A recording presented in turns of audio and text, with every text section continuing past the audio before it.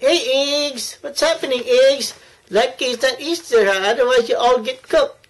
It's only St. Patrick's Day, huh? School, huh, Eggs?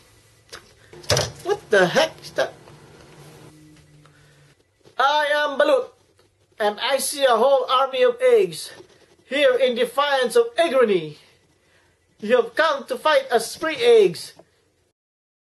You are.